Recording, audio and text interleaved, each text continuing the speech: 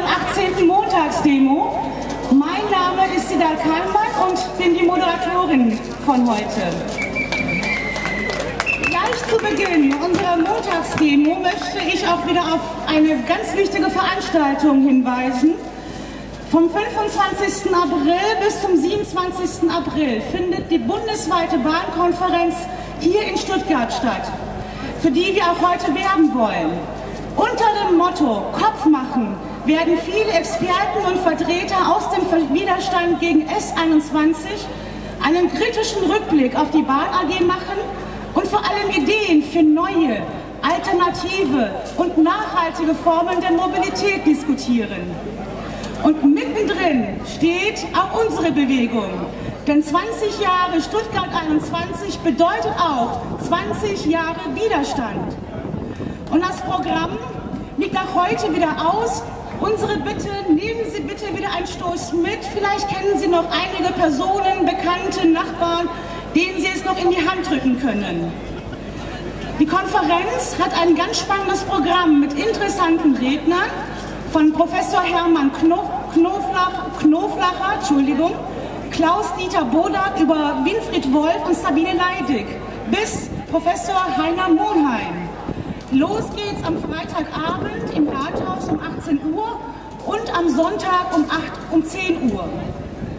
Am Samstagabend, also am 26. April, gibt es ein super Kulturprogramm unter anderem mit Christine Prion und dem kleinen elektronischen Weltorchester Thomas Felder.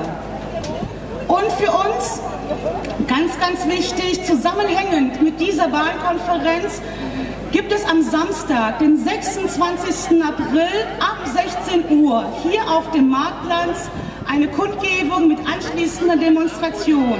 Und unter anderem werden Reden auf dieser Kundgebung Egon Hoffnungszitz Sabine Leidig und Volker Lösch.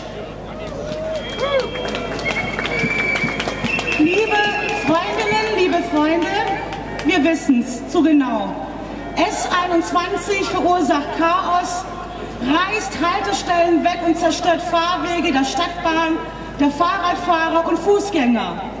Und dennoch weigern sich Politiker, den Baustopp für die unausgegorenen Baupläne zu fordern. Die Grünen erläutern ihre Haltung sogar als kritische Begleitung. Na immerhin, kritisch. Aber in der Konsequenz heißt das aber nichts anderes als Ja zum Weiterbau und zur Zerstörung. Denn für sie, für die Grünen, ist S21 schon naturgesetzlich geworden und als nicht mehr aufhaltbar. Und tun sich dann doch Probleme auf, dann sollen sich die Menschen sich damit alleine abfinden. So auch die Konsequenz, das Ergebnis dieser kritischen Begleitung. Und ich denke, dazu passt auch das Zitat von einem Gemeinderat, wenn die Stadtbahn nicht mehr fährt, dann sollen sich doch die Menschen ein Fahrrad zulegen. S21 Chaos ist damit gelöst. Wir schaffen uns alle ein Fahrrad. Aber ist es wirklich so? Und damit will ich auch gleich überleiten an unseren ersten Hauptredner, wir sind froh, dass er heute da ist. Peter Pipijauke von der Naturfreundin Radgruppe Stuttgart. Dankeschön. Du hast das Wort.